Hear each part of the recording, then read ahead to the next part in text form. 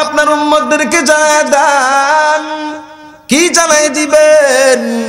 আল্লাহ তালা ডেকে বলে পয়গম্বর আপনার উম্মদেরকে জানায় দেন কলিয়া আলা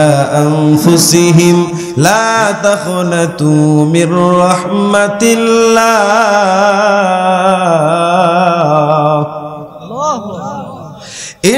الله إن الله يغفر الذنوب جميعا إنه هو الغفور الرحيم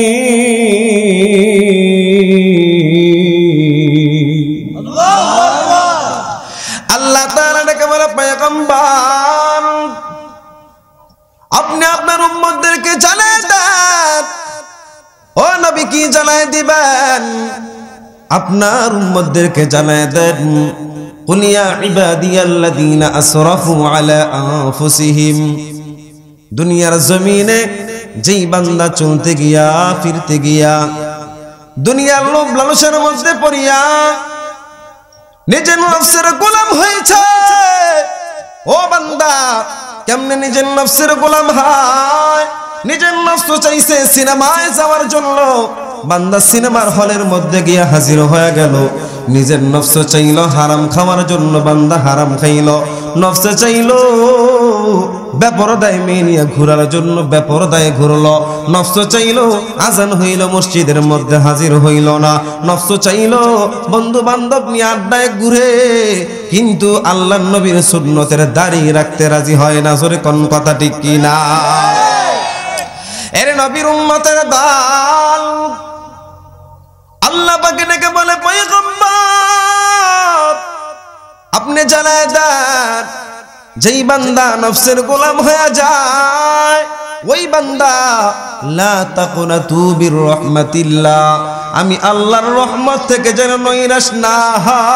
বান্দা যখন চোখের পানি ফালাইয়া দুই রাকাত নামাজ পড়িয়া, আমি আল্লাহর দরবারে কানতে পারবে, আমি আল্লাহ ওর গুনাহগুলো নেকের দ্বারা পাল্টাইয়া, পরকালে ওরে আমি আল্লাহ জান্নাতের মেহমান বানাই দিব মুসলমান ইমানদার আল্লাহর গোলাম। আল্লাহ নবীর চাচা। হামজা রাদিয়াল্লাহু তাআলা আনহু।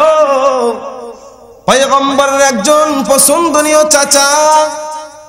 ওই চাচাকে শহীদ করে দিয়েছেন আল্লাহর নবীর আরেকজন সাহাবী হযরতে ওয়াহশী রাদিয়াল্লাহু তাআলা আনহু। নাম কি বলেন?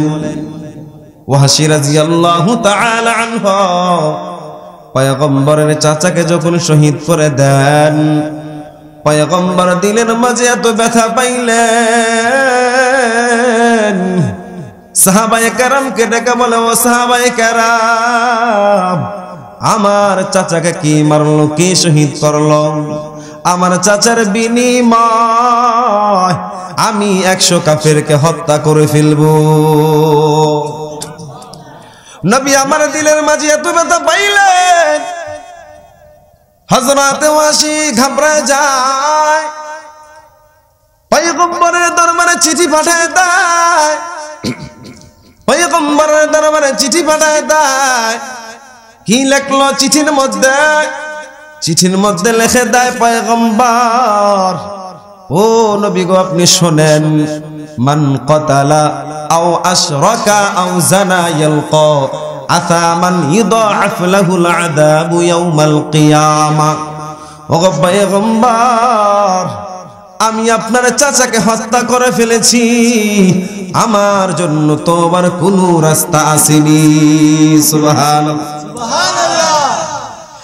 হযরত ওয়াসি রাদিয়াল্লাহু তাআলা আনহু পয়গম্বরের কাছে যখন চিঠি পাঠায় দেয় আল্লাহ তাআলা জিব্রাইলকে ডাক দেয়া গাওয়া জিব্রাইল, যাও যাও।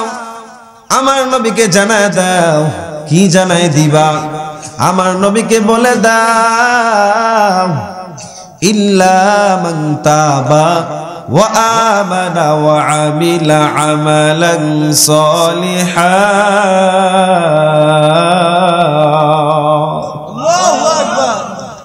নবীর কাছে আল্লাহ তাআলা জিব্রাইলের মাধ্যমে আয়াত নাযিল করে দেয়। আল্লাহ তাআলা ডেকে বলে, পয়গম্বর, আপনি আপনার সাহাবীকে জানায় দেন, ইল্লা মান তাবা ওয়া আমানা ওয়া আমিলা আমালান সলিহা। আপনার সাহাবী যদি এক নম্বরে ঈমান আনেন, করে না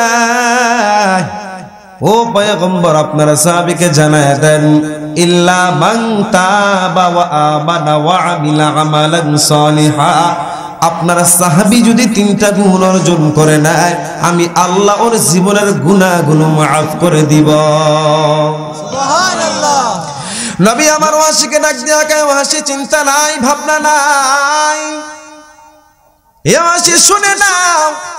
আল্লাহ তাআলা আয়াত নাযিল করে দিছেন। কি বলছেন আল্লাহ?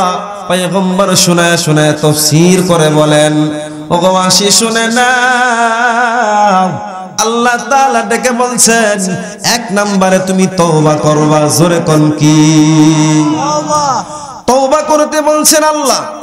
এখন আমি আপনাদেরকে প্রশ্ন করি ভাই আল্লাহ যা আয়াত নাজিল করেছে এটা কি শুধু ওয়াহশির জন্যই খাস নাকি সকলের জন্য আম? সকলের জন্য। এ নবীর উম্মত। ওয়াহশির জন্য ওয়াসির জীবনকে স্মরণ করি, আল্লাহ জিব্রাইলের মাধ্যমে আয়াত নাজিল করে দেয়। কিন্তু আয়াতের হুকুম শুধু ওয়াহশির উপরে না তাম দুনিয়ার মানুষের উপরে যেরকম ঠিক কি না আল্লাহ তাআলা ডাকে বলেন পয়গম্বর, আপনার উম্মতদেরকে জানায় দেন ইল্লা তারা যদি তওবা করে নেয়, তওবা। এর নবীর উম্মত আজকে এত গুনাহ হয়। চব্বিশটা ঘণ্টা গুনার কারখানায় আমরা ঘুরি আর ফিরি, কি বলেন কথা ঠিক কিনা? এরে নবীর উম্মত ঘরের মধ্যে যাও গুনার ফ্যাক্টরি। ওরে বাবা, রাস্তায় বের হইবা গুনার আয়োজন। ও বাবা বাসারা যাইবা গুনার আয়োজন। ডানে গুনা, বামেও গুনা, সামনেও গুনা, পিছনেও গুনা, জোরে কোন ঠিক কিনা? এ যুবক ভাই, দিলটারে বোঝায় না। দুনিয়াটা কিছুই না। আজ আছো, কাল থাকবা না। কখন জানি মারা যাও, বলা যায় না। অনেক যুবক আছে রাত্রে যখন ঘুমায় কানের মধ্যে স্যালাল লাগাইয়া ঘুমায়। কথা আসতে কারে? এর যুবক একটু চিন্তা কর। আমি বিমারিয়া থেকে তোমাদের এলাকায় আসলাম। এ বাবা আমার চেহারার দিকে তাকাও মনে হয় আশি বছরের বুড়া। আশি বছরের বুড়া না আমি? তাহলে কি? যুবক পঁচিশ বছর আল্লাহ চালাইতেছেন, ও বাবা। আমি যদি চাইতাম কানের মধ্যে স্যালান লাগাইয়া দাড়িগুলা কাটিয়া মেয়েদের সাথে রমনায় ঘুরতে পারতাম কিনা? কথা কয় না? কেনই বাবা করলাম না? আল্লাহর কোরআন পড়লাম, নবীজির হাদিস তালাওয়াত করলাম। আল্লাহর কোরআনের একটা আয়াত মিথ্যা না, পয়গম্বরের হাদিস একটাও মিথ্যা না। গুনানিয়া যদি বান্দা কবরে যাও, দুই পাশের মাটি এমন জোরে চাপ দিবি, পাঁচরের হাড্ডি গুলা চুরমার হয়ে যাবি। এ ভাই, দিলটারে বুঝায় না ও দিলটারে বুঝায় না ও বান্দা তুমি আজকে মেয়ে নিয়ে ঘুরো। অনেক যুবক আছে, রাতের বেলা যখন মেয়ের সাথে কথা বলা শুরু করে, ফজরের আজান হয়, তারপরও মোবাইল কান থেকে সরে না। আছে না নাই? এ ভাই, দিলটারে বুঝায় নাও, দিলটারে বুঝায় নাও। এই দুনিয়া কিছুই না। আল্লাহ বলেন, বান্দা তোবা কর। ও বান্দা তৌবা করে নে তৌবা করে নে। কীভাবে তৌবা করবা? ও মামিন, তোমার তো জানা নাই। কীভাবে তৌবা করলে আল্লাহ ক্ষমা করবেন? আজকে আমাদের এত গুণা সকালবেলাও গুণা করি, সারাদিন গুনার মধ্যে কেটে যায়। সারাটা দিন আমাদের গুনার মধ্যে ঘুরে ফিরি। তারপরও আল্লাহর কাছে ক্ষমা চাইতে দিনটা কাঁদে না। কিন্তু সাহাবাই কারাম। যদি সরিষা পরিমাণ গুণা করতেন, কানতে কানতে বেহুশ হইয়া যাইতে। কথা কোন ঠিক না বেঠি এরে নবীর উম্মতের দাল হযরত আবু হুরায়রা পয়গম্বরের একজন জলিল কদর সাহাবি আবু হুরাইরার দরবারে এক মহিলা হাজির হয়। মহিলা হাজির হইয়া আবু হুরাইরাকে বলে, আবু হুরাইরা আমি তো এমন পাপ করলাম, আমার মতন পাপিকে আল্লাহ ক্ষমা করবেন কিনা? সুবহানাল্লাহ। এ পরদার অন্তরালের মা, ভালো করে শুনে নাও। ও মা, তোমরা নবী নাও, নবীদের মা, তোমরা সাহাবি নাও, সাহাবিদের মা, তোমরা পীর নাও, পীরদের মা। তোমরা অলি নাও, অলিদের মা, ঠিক নি ওগো আম্মা জান, আপনি একজন মহিলা। আর আবু হুরায়রার দরবারে যেই মহিলা সালিশ বসাইলেন, অভিযোগ করলেন, আল্লাহর দরবারে ক্ষমার জন্য রাস্তা তালাশ করলেন, সেও তো মহিলা। ও মা, ভালো করে শুনে নেন। আবু হুরাইরা কাছে বলে, ও আবু হুরাইরা আমি তো এমন পাপ করলাম। আমার মতন পাপিকে কি আল্লাহ ক্ষমা করবেন কি না? আবু হরাইরা ডাক দিয়া কেউ আল্লাহর বান্দে, আমি জানি না। তুমি আমার বাড়ি থেকে বের হয়ে যাও। মহিলাটা কানতে কানতে আবু হরাইরার বাড়ি থেকে নিজের বাড়িতে চলে যাইতেছে। হযরত আবু হুরায়রা পয়গম্বর দরবারে হাজির হয়। নবীজি দরবারে হাজির হইয়া মহিলাটার কথা যখন পয়গম্বরের কাছে তুলে ধরলেন, এর নবীর উম্মত, মায়ের নবী ডাক দিয়া কে আবু হুরায়রা, তোমার কি আল্লাহর কোরআনের আয়াতের কথা মনে নাই? সুবহানাল্লাহ। سبحان الله. والذين إذا فعلوا فاحشة فاحشة أو ظلموا أنفسهم ذكروا الله.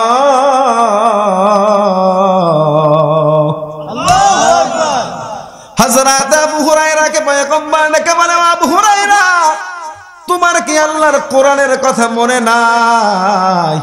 ও আবু হুরায়রা, তুমি কি কোরআনের আয়াতের কথা ভুলে গেছো? আল্লাহ তো কোরআন ও কারিমের মধ্যে বলছেন, কি বললেন? আল্লাহ বড় আদর করে করে ডেকে ডেকে বলেন, ওয়াল্লাযীনা ইযা ফাআলু ফাহিশাতান আও যালামু আনফুসাহুম যাকারুল্লাহ। আল্লাহু আকবার! এর নবীর উম্মতের দল। মমিন বান্দা যখন কোনো পাপাচার করে নেয়, মমিনের দ্বারা যখন কোনো গুনাহ হয়ে যায়, মমিন পেরেশান। মমিনের ঘুম নাই, নিদ্রা নাই, কি বলেন ঠিক কি না? যেই বান্দার অন্তরে আল্লাহর ভয় ঢুকে যায় ওই বান্দার দ্বারা গুণা করার কোনো শক্তি থাকে না। এর নবীর উন্মতির দল। আল্লাহ নবী ডেকে বলে, আবু হুরায়রা ও আবু হুরায়রা, আল্লাহ তো বলেছেন, ওয়াল্লাযীনা ইযা ফাআলু ফাহিশাতান যখন কোন মুমিন কোন ফায়সা কাজের মধ্যে লিপ্ত হয়ে যায়, ওই বান্দা সাথে সাথে যাকারুল্লাহ আল্লাহকে স্মরণ করে। মুসলমান ইমানদার আল্লাহর গোলাম।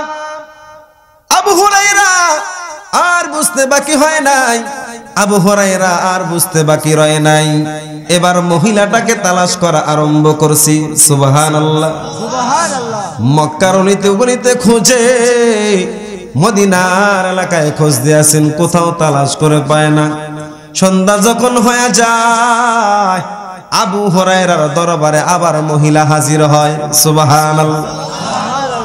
আবু হুরাইরাকে ডেকে বলে আবু হুরাইরা সকালবেলা আসলাম তারাই দিলা বললা তোমার কোনো রাস্তা নাই।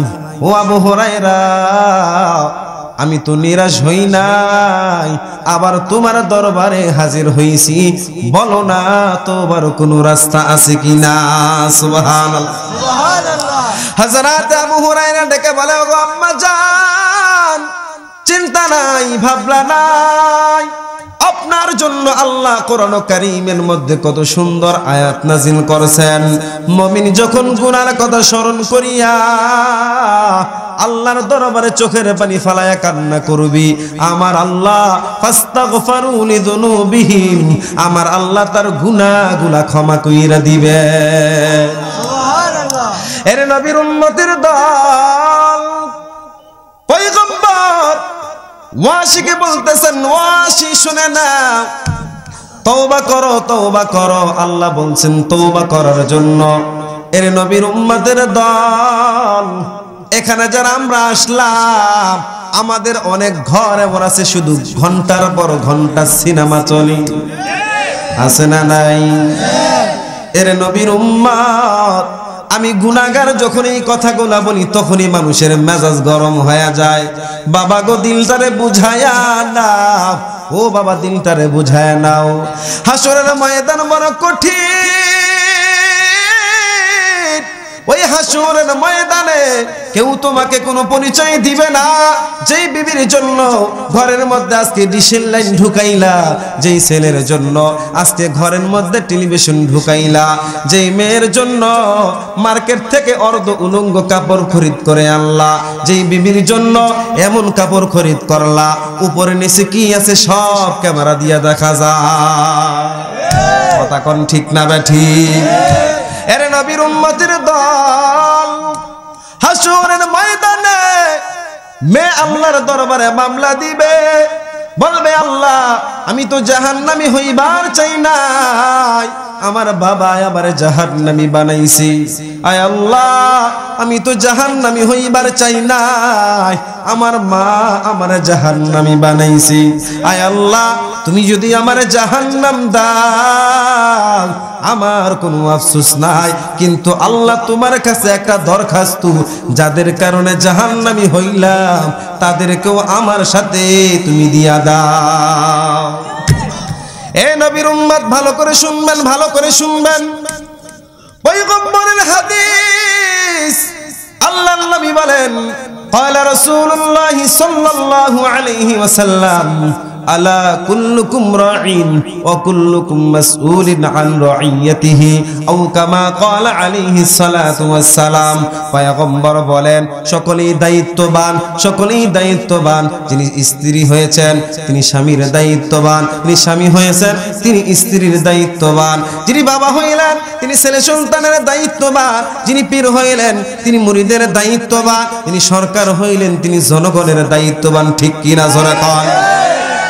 এরে নবীর উম্মতের দল, হাসুরের ময়দান।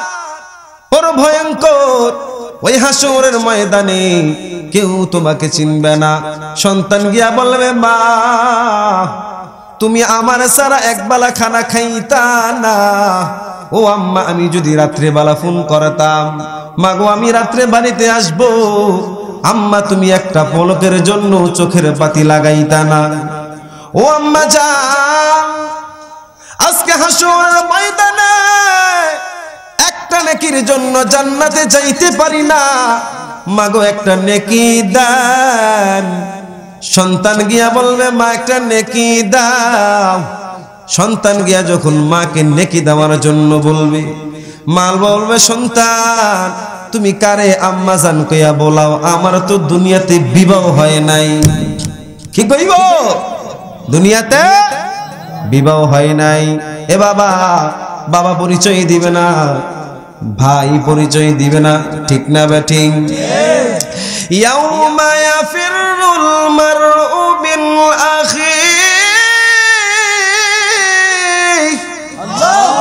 ওয়া উম্মিহি وصاحبته وبنيه لكل امرئ منهم يومئذ شأن يغنيه الله أكبر ময়দানে মা ছেলেকে পরিচয় দিবে না। মারউ মিন নাখি। আজকে ভাই, দুনিয়াতে বিপদে পড়লে ফোন যখন করে, ভাই, তুমি কোথায়? বলে, আমি গরিপুর কি হয়েছে? বলে চিন্তায় আমাকে ধরেছি চিন্তাই কাররা আমারে ধরেছি, ডাকাত আমাকে ধরেছে। ও ভাইজান, তুমি আমারে বাঁচাবার জন্য আসো। দেখা যায়, ভাই, হাজারো মানুষ নিয়ে সেখানে হাজির হয়, ঠিক না বেঠি এর নবীর উম্মতির দল। সন্তান বিপদে পড়লে বাবা দৌড়ায় যায়। সন্তান যখন মায়ের সামনে আগুনে পড়ে যেতে চায়, মা সন্তানকে আদর করে আরও কাছে টেনে আনে। কি বলেন ঠিক কিনা? কিন্তু নবীর উম্মত আজকে বাবা হইলা নিজের মেয়েটাকে এখনও পর্দায় চালাইলা না। ওরে বাবা দুনিয়ার জমিনের আগুন থেকে তোমার সন্তানকে তুমি বাঁচাইতে রাজি হও। কিন্তু কবরের ময়দানে হাসরের ময়দানে তোমার সন্তান যে জাহান্নামী হয়ে যায় তোমার কোনো খবর না। কথা কন ঠিক না ব্যাঠিক এরে নবীর উম্মতির দল এজন্য বাবা দিলটারে বুঝায় নাও, ঘরগুলো আমল পরিবেশ বানায় নাও। বাবা যদি নামাজি হয়, ছেলেটাও নামাজি হয়। কথা কয় না? মা যদি নামাজি হয়, ছোট মেয়েটাও নামাজি হয়, ঠিক না? এ বাবা ভালো করে শুনে নেন। সন্তান যখন অন্যায় কাজ করতে যায় মার দায়িত্ব হলো সন্তানকে বুঝায় শোনাইয়া, ও মা, এই কাপড়গুলা পরবা না, এগুলা নবীর আদর্শ না। কি বলেন ঠিক না? কিন্তু আমরা এত নির্লজ্জ আর বেহায়া, নিজে মার্কেটে যাই না, বিবি আর মেয়েকে দিয়া মার্কেটে পাঠাই দিই। কথা কয় না? এরে নবীর উম্মত, এই যে তোমার মেয়েটা তোমার বিবি আজকে মার্কেটের মধ্যে গেল কত পুরুষের সাথে কথা বলল, কত পুরুষের সাথে হাসাহাসি করল। পয়গম্বর বলেন, একজন মহিলা যদি রাস্তা দিয়ে হেঁটে যায়, আতর সেল লাগাইয়া কোনো মহিলা যদি রাস্তার মধ্যে হেঁটে যায়, ওই মহিলার আতরের গ্যারানটা যত পুরুষের নাকের ডাগায় গিয়া লাগবে, কাল হাসরের ময়দানে ওই পুরুষের সাথে জেনা করলে যে গুনাহ হইতো। পয়গম্বর বলেন, সহি হাদিস, ওই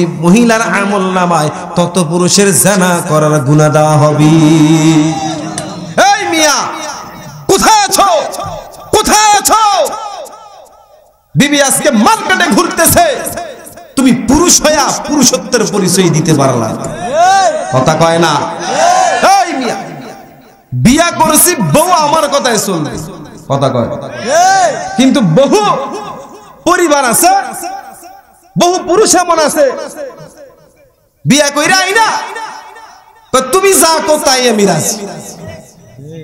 কথা কয় না। বৃদ্ধা মা বাবা বৃদ্ধা বাবা মা, যেই বাবা মা কষ্ট করে মাথার গাম পায়ে ফালিয়ে না খেয়ে, না ঘুমিয়ে তোমাকে ডিগ্রি পড়াইল। আসেনি। এমএ পাস করলা, আই বিএ পাস করলা। আজকে সুন্দরী বউ পাইয়া বাবা মাকে বৃদ্ধাশ্রমে দিয়ে আসি। মা আসতে কারে? আপনারা সমাজে নাই মনে হয়। কত শিক্ষিত শিখতে শিখতে জানোয়ার হয়ে গেছে। কথা কয় না? জানোয়ার হয়ে গেছে জানোয়ার। এই পয়গম্বর বলেন আল জান্নাতু তাহতা আকদামুল উম্মাহাত। তোর পিতামাতার পদতল হলো তোর জান্নাত। সুবহানাল্লাহ কোন? সুবহানাল্লাহ। কোথায় পিতামাতার পায়ের নিচে। আজকে বিয়া করার পরে নিজের মারও জিন্দিগিতে এত মুখ ভইরা আম্মা কয় নাই, শাশুড়ি আম্মারে যেমনে আম্মা কয়। কথা কয় না? শ্বশুররা গিয়া আব্বা যান, বাবারও কোনোদিন আব্বা কয় না। কথা কয় না? আছে না নাই? বহু পরিবার এমন আছে। এই ছাগল। এর করে আমি ছাগল কই? কি কই? ছাগল। রাম ছাগল। বাবা মা কষ্ট করে লেখাপড়া শিখালো, কষ্ট করে জায়গা বেচে, ঘর বেচে, ভিটা বেচে, তোকে আজকে একটা ভালো চাকরিতে জয়েন করিয়ে দিল। আর তুই চাকরিতে গিয়া পঞ্চাশ হাজার টাকার বেতন হাতে নিয়া মারে চিনলি না, বাবারে চিনলি না, তোর মতন সন্তানকে চিন্তা কবর দিয়া দেওয়া দরকার। এগুলা কেন হয় জানেন তার কারণ আছে না আছে না। নাই কি কারণ কি কারণ? এর নবী উম্মাদ পয়গম্বর বলেন, ও সাহাবাই কারাম, শুনে নাও। সন্তান যখন ভূমিষ্ঠ হবে, সন্তানের হক কিন্তু তোমরা আদায় করতে ভুলবা না। কিন্তু মুসলমান ইমানদার বড় দুঃখ বড় দুঃখ। সন্তান ভূমিষ্ঠ হয়ে গেল। সন্তানের হক বাবা মা আদায় করে না। এজন্য সন্তান বড় হইয়াও বাবা মাকে বাদ দেয় না। ঠিক নেই কেন? সন্তানের হক- ছিল সন্তান যখন বিমিষ্ট হয়েছে, সন্তানকে ভালো একটা নাম তুমি রেখে দাও। কিন্তু মুসলমান ইমানদার বড় দুঃখ। আজকে তাকায় দেখো আমাদের সমাজে কত যুবকের নাম আবুল বাবুল, টিন্টু, মন্টু। আছে না নাই? ঝর্ণা বর্ণা স্বর্ণা কুকিলা। আসেনি? এর নবীর উম্মতের দল। এগুলা মুসলমানের নাম হতে পারে না। এগুলা বেঈমান নাস্তিকদের নাম। করে কোন কথা ঠিক কি না মুসলমানের সন্তানের নাম হবে আবু বকর মুসলমানের সন্তানের নাম হবে ওমর।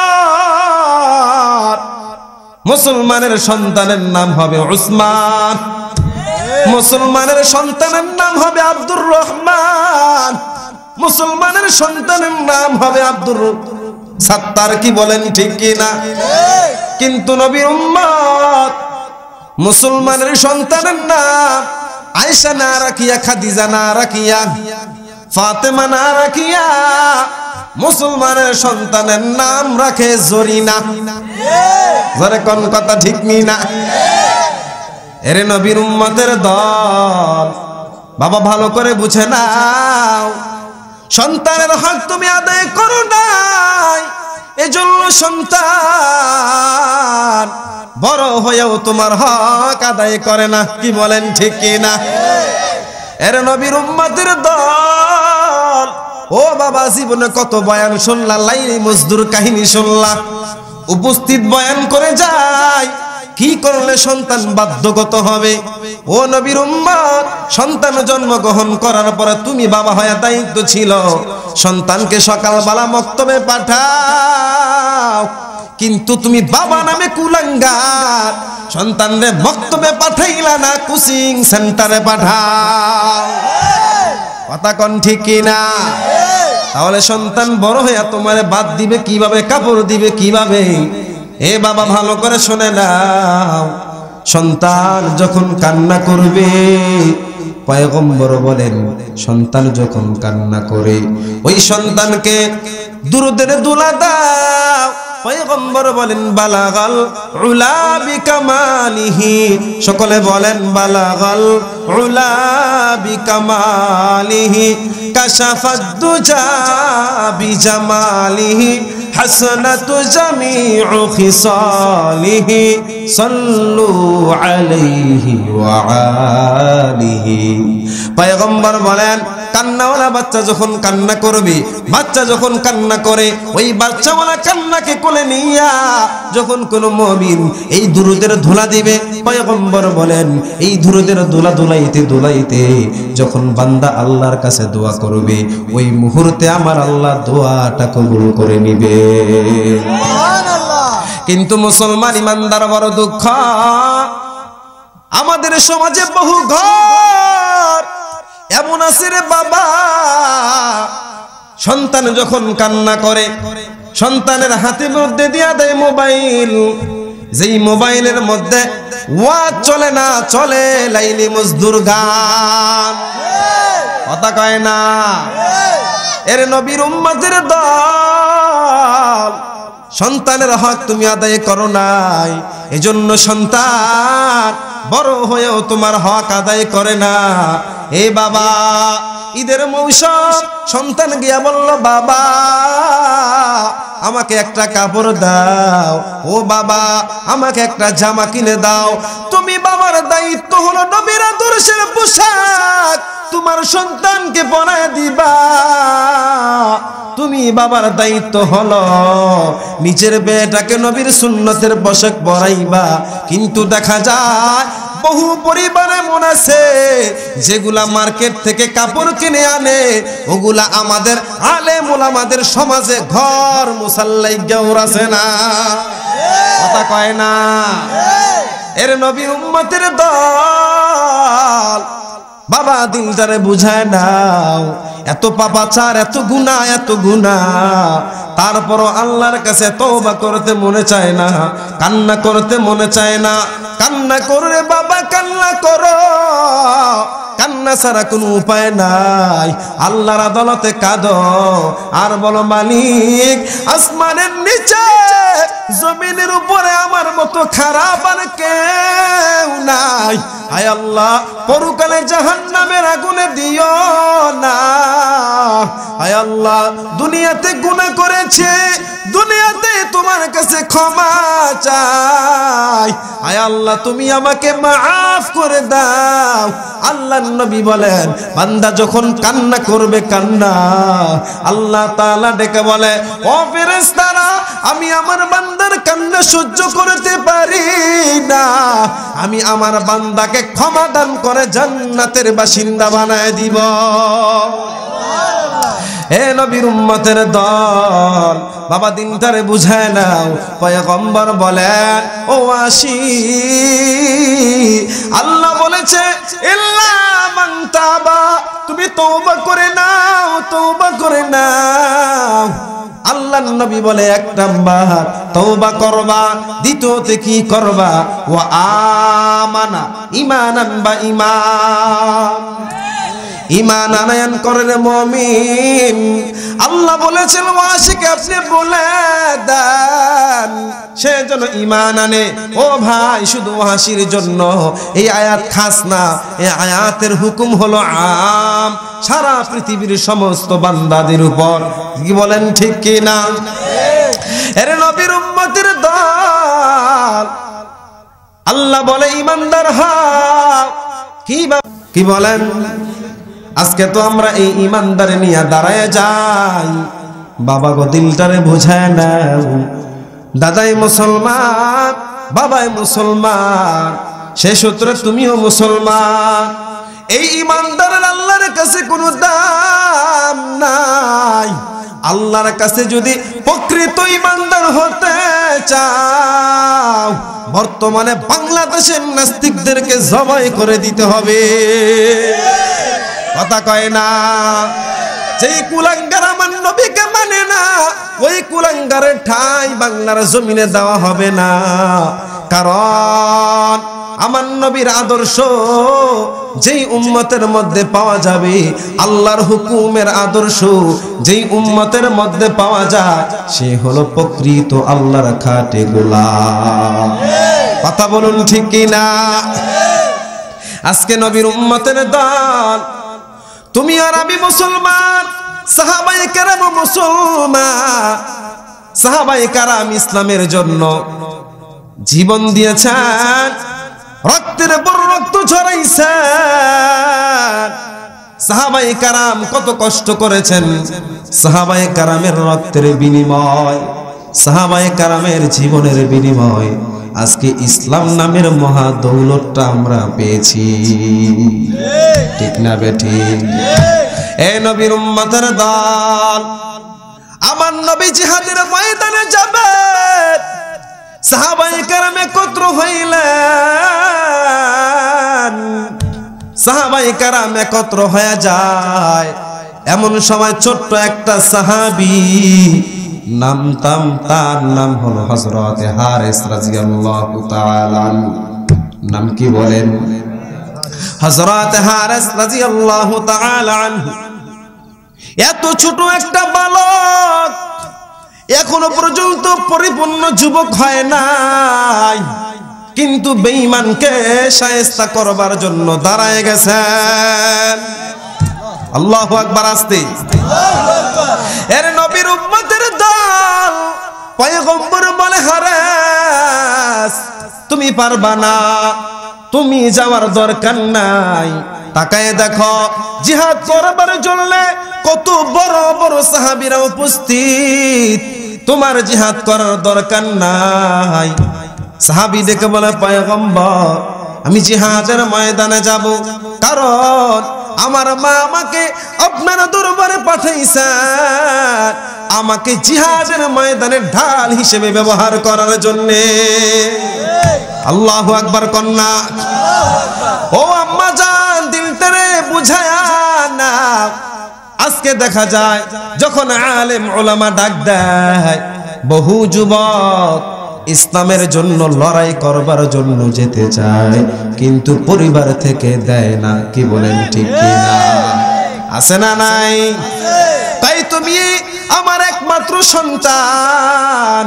তুমি যদি হারায় যাও, তাহলে আমি কাকে নিয়ে বাঁচবো? ও আম্মা জান দিলটারে বুঝায়া নাও তুমি ও মা, হারেসের মা ও মা, কি বলেন ঠিক কিনা? হজরত হারেসের মা শহীদের মা হওয়ার জন্য হারেসকে পাঠায় দেয়। হারেস এত ছোট। হাদিস যিনি বর্ণনা করলেন, তিনি বলেন, হারেসের লম্বা উচ্চতা কতটুকু? বলে তরবারিটা যতটুকু লম্বা, হারেসের উচ্চতাও হলো ততটুকু লম্বা। এরে ভাই, দিলটারে বুঝায় নাও।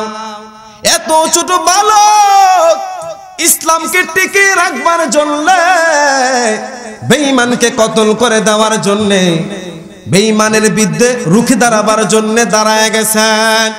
পয়গম্বর বলেন, হারাস, ইসলামের জন্য জিহাদে যাওয়ার তোমার দরকার নাই। হারেস বলে, না, আমার আম্মা যা, বহু আশা করে আপনার দরবারে পাঠাইছেন ওগো পয়গম্বর আমাকে জিহাদে যাওয়ার অনুমতিটা দিয়া দেন সুবহানাল্লাহ। নবী আমার কোনো কথা বলেন না কিন্তু মুস্কি মুস্কি হাসছেন সুবহানাল্লাহ। অনুমতি দেয় নাই মুখে কিছু বলে নাই সাহাবায়ে কেরাম রওনা। জিহাদের ময়দানে যখন হাজির হয় পয়গম্বর সাহাবায়ে কেরাম কি জিহাদের ময়দানে জিহাদ করার জন্য লাগায় দেয়? হারেস তরবার নিয়ে গাড়ায় গেছেন, আল্লাহু আকবার। হারেস তরবার নিয়ে দাঁড়ায় যায়। যেই মাত্র বেঈমানকে কতল করতে যাবে যেহেতু তরবারিটা হারেসের উচ্চতার সমান এজন্য ছোট মানুষ এত ভারী তরবারি ধরে রাখতে পারে নাই। ছোট মানুষ ভারী তরবারি ধরে রাখতে পারে নাই। যেই মাত্র বেঈমানকে আঘাত করার জন্য হাত উঠায়, হাদিস যিনি বর্ণনা করছেন, তিনি বলেন, বেঈমানকে আঘাত করবার সাথে সাথে ভুল ক্রমে নিজের শরীরে আঘাত পেয়ে যায়। ভুল ক্রমে বেঈমানের শরীরে না লাগিয়া হযরত হারিস রাদিয়াল্লাহু তাআলা আনহুর গায়ে তরবারি চলে যায়। এর নবীর উম্মতের দল, যুদ্ধ শেষ হয়ে গেল। পয়গম্বর, সাহাবায়ে কারামকে যারা জিহাদের ময়দানে শহীদ হয়েছে তাদের লাশগুলো দাফন করে দাও। এক মহিলা যুদ্ধের ময়দানে দৌড়ায় সাহাবায়ে কারাম, তারা যখন জিহাদ করে গাজীর বেশে বাড়িতে ফিরে আসেন, হারেসের মা দৌড়ায়া জিহাদের ময়দানে গিয়ে হাজির হয়ে যায়। আল্লাহু আকবার। হযরত হারেসের মা নবীজির কাছে গিয়ে হাজির হয়। পয়গম্বরকে বলেন, ওগো পয়গম্বর, আপনি একটু বলেন না, আমার হারেসের শহীদ আমার আল্লাহ কবুল করেছেন কিনা? এর নবীর উম্মতের দল হারেছেন, মা কান্না করেন। হযরত হারেছেন, মা কান্না করেন। অগনবীজি বলেন না, নতুবা আমি কিন্তু কান্না থামাইব না।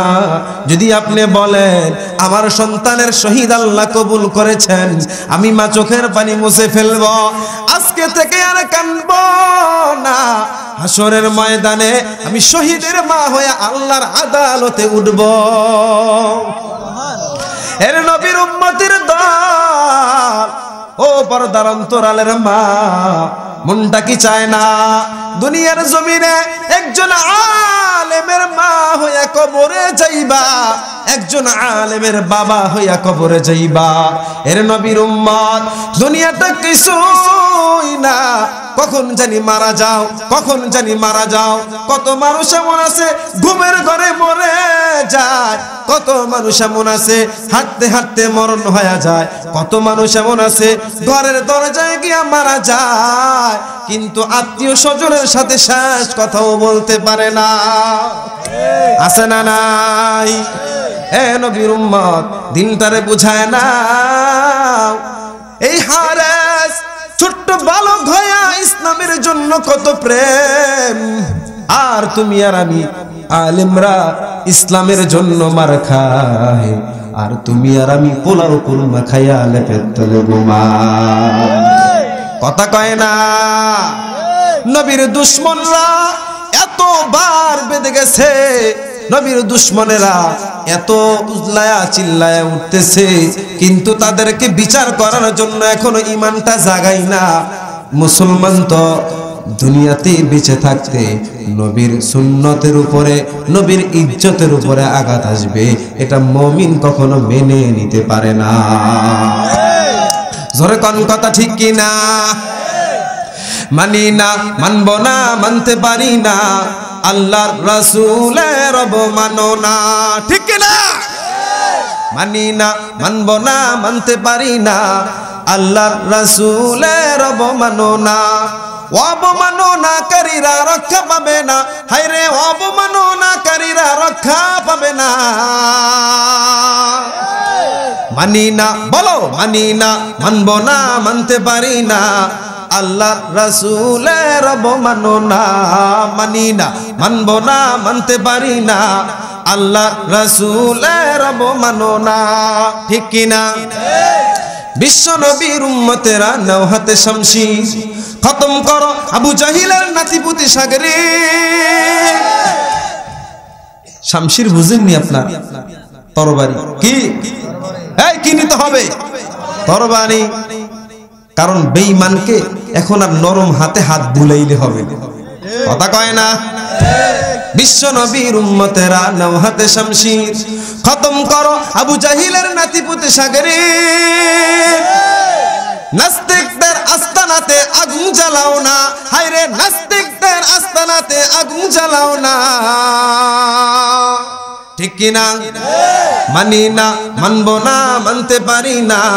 আল্লাহ রসুলের অবমাননা মানি না, মানব না, মানতে পারি না। আল্লাহ রসুলের অবমাননা। বাংলার বীর মুসলমান জেগে উঠেছে। লেজ গুটিয়ে নাস্তিকদের পালাতে হবে। বাংলার বীর মুসলমান জেগে উঠেছে। বাংলার বীর মুসলমান জেগে উঠেছে। লেজ গুটিয়ে নাস্তিকদের পালাতে হবে। নইলে আজি করব তাদের কবর রচনা, নইলে আজি করব তাদের কবর রচনা। মানি না, মানব না, মানতে পারি না। আল্লাহর রাসূলের অবমাননা মানি না, মানব না, মানতে পারি না। আল্লাহর রাসূলের অবমাননা ঠিক কি না মুসলমান জাতি যতদিন বেঁচে থাকবে, যতদিন হুঙ্কার দিবে, ততদিন কোন নাস্তিকের বাচ্চা মাথা উঠে দাঁড়াইতে পারবে না। কথা বলুন ঠিক না বে ঠিক এজন্য মুসলমান ইমানদার, দিলটারে বুঝায় না সাহাবাই কারামের ইমানের মতন ইমানটা ঘটল করে না আল্লাহ বলেন ইমান অর্জন করো। হজরত ওয়াসিকে পয়গম্বর বলেন ওয়াসি শোনা না এক নম্বরে তওবা করবা দুই নম্বরে ইমান আনবা তিন নম্বর হলো وعمل عملا صالحا আল্লাহু আকবার তিন নাম্বার ভালো আমল করবা ভালো আমল করবা এর নবীর উম্মত তোমাদেরকে জিজ্ঞাসা করতে চাই ভালো আমল বলতে কি বুঝো? গাঞ্জা খাওয়া? কথা কয় না। ভালো আমল বলতে হিরণ খাওয়া। ভালো আমল বলতে চুরি করা বাটপারি করা চিন্তাই করা মেয়ে নিয়ে ঘুরা। না না এর নবীর আল্লাহর ভয়ে আল্লাহর ভয়ে কবরের ভয়ে হাসরের ভয়ে মসজিদের মাইক দিয়া যখন মুয়াজ্জিন বলে হাইয়া সালাত।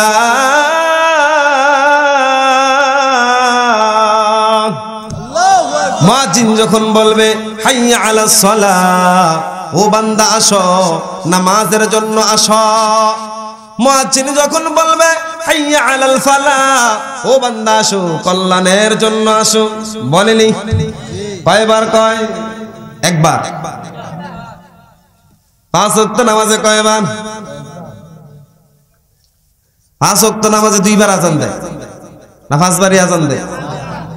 তাহলে মমিন ভালো করে শুনে নেন, পাঁচ ওয়াক্ত নামাজে মজ্জিন সাহেব আপনার কত বড় বন্ধু। এ ভাই, দুনিয়ার জমিনে আজকে বন্ধু বানাইলা।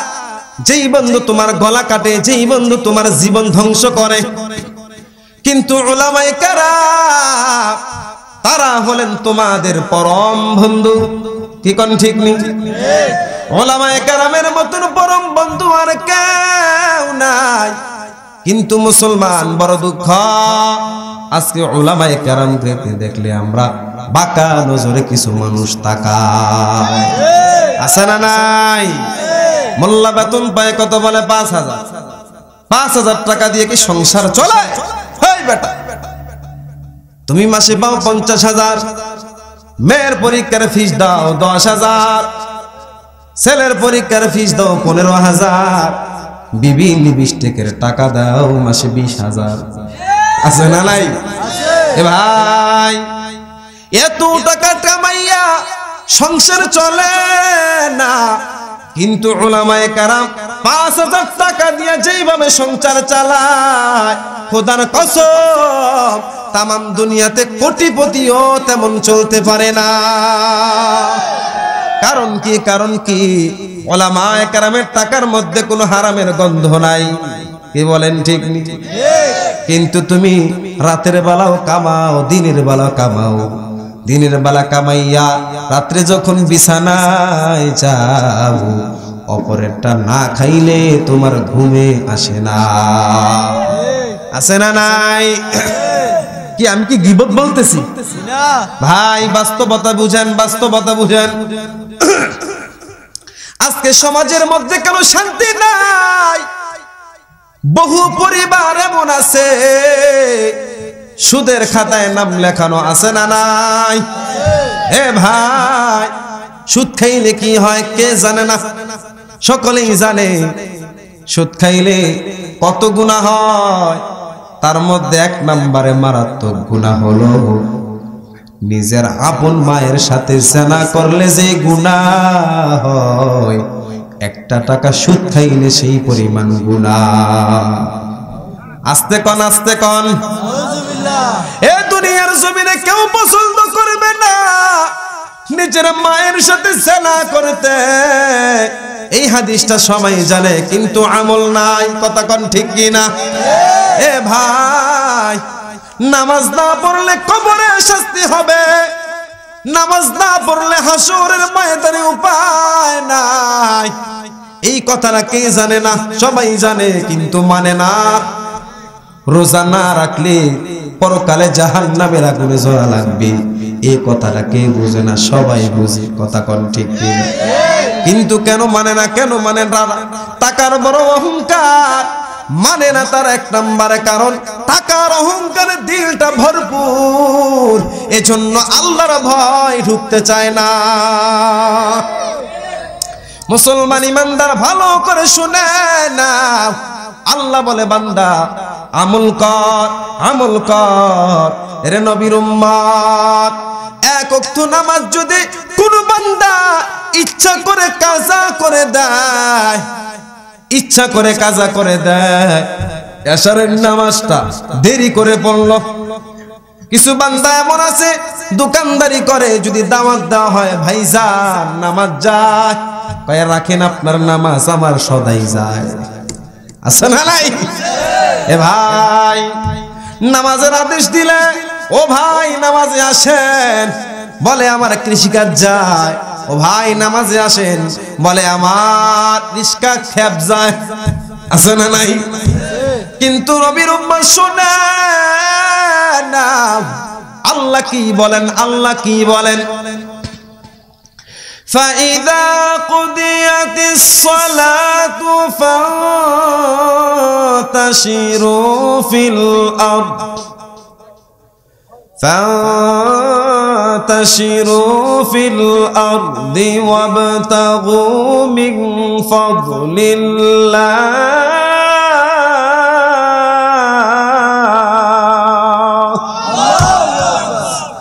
আল্লাহ তাআলা কি বলেন আল্লাহ ডেকে বলে, বান্দা, ভালো করে শুনে না এক নাম্বার, বান্দা, ভালো করে শুনে না তুমি আজকে কৃষি কাজের দোহাই দিয়া, রিক্সা চালকের দোহাই দিয়া, দোকানদারির দোহাই দিয়া, তোমার অফিসের দোহাই দিয়া সংসারের ঝামেলার দোহাই দিয়া নামাজের সময় মসজিদে আসো না।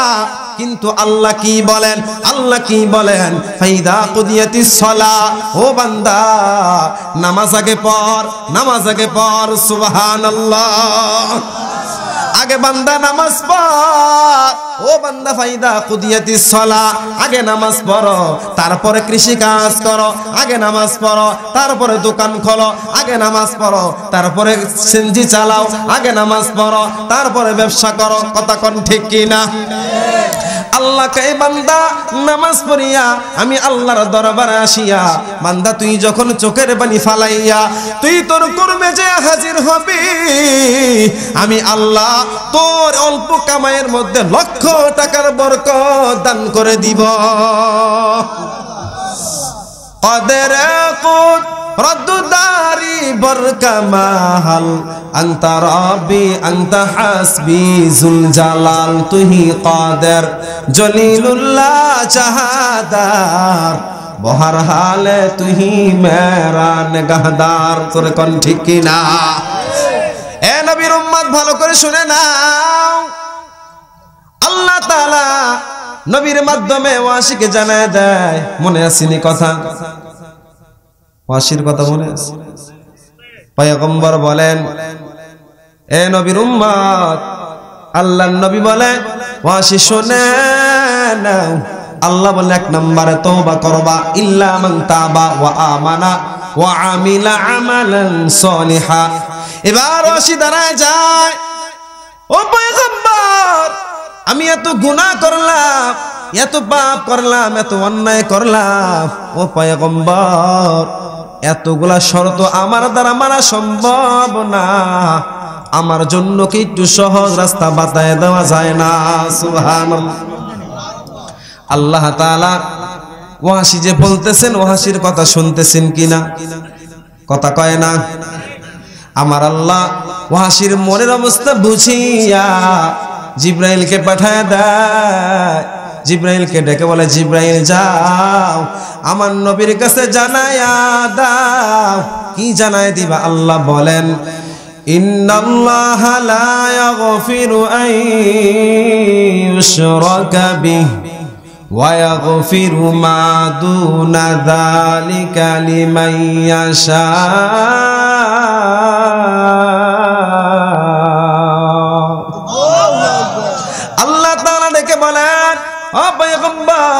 আপনি আপনার ওয়াসিকে জানায় দেন, আপনার ওয়াসি যদি এতগুলা শর্ত পালন না করতে পারে, তাহলে আপনার ওয়াসিকে জানায় দেন, সে যদি শিরিক গুনাহ ব্যতীত যত অন্যায় করবে, আমি আল্লাহ সব গুনাহগুলো মাফ করে দিব। আস্তে। এই মুসলমান ভালো করে শুনে নাও। এ নবীর উম্মত আল্লাহর পয়গম্বর ওয়াসিকে বললেন ওয়াসি রে ওয়াসি শোনে আল্লাহ পাক বলছেন, শিরিক গুণা ব্যতীত সেই গুণা নিয়ে আমার আল্লাহর কাছে হাজির হইবা, আমার আল্লাহ সেই গুণাগুলো তোমারে ক্ষমা দান করে দিবে। এজন্য মুসলমান, ভালো করে শোনেন আজকে আমাদের কথার মধ্যে শিরিক হয় কি হয় না? কথা কয় না? এ বান্দা, চাকরি করে বলে আমার চাকরি যদি না থাকতো আমি খাইতে পারতাম না, আমার দোকান যদি না থাকতো আমি চলতে পারতাম না, আমার ছেলে যদি বিদেশ না থাকতো তাহলে আমার কপাল খারাপ হয়ে যাইত, আছে না না? ভাই, ভালো করে শোনান। কপাল বড় আদর করে আমার আল্লাহ বানাইছেন। এই কপাল দ্বারা কাকে সাজদা করব? আল্লাহকে নাকি খাজা বাবাকে? এ বান্দা কপাল আল্লাহ দিলেন দেওয়ান বাগির কদমে সাজদা দেওয়ার জন্য দেয় নাই। ঠিক না বেঠি? কপাল আল্লাহ দিছেন কুতুব বাগের দরবারে ঠেকাবার জন্য দেয় নাই। রাজার বাগির দরবারে ঠেকাইবার জন্য দেয় নাই। এ, দেওয়ান বাগির দরবারে ঠেকাইবার জন্য দেয় নাই। এই কপাল দ্বারা আল্লাহ বানাইছেন, বড় আদর কইরা বানাইছেন। আল্লাহর কদমে পাঁচ নামাজে সাজদা দেওয়ার জন্য। কথা কোন ঠিক না বেঠি আজকে বড় দুঃখ লাগে মিয়া। বহু ছাগল আর পাগল এমন আছে, পীরের দরবারে গিয়া সারাটা জীবন কাটাই দিছে। আছে না নাই? এই মিয়া, এই শিরিক কইরা কি জান্নাতে যাওয়া যাইব? জান্নাত কি মামুর বাড়ির কলা গাছ? কথা কয় না।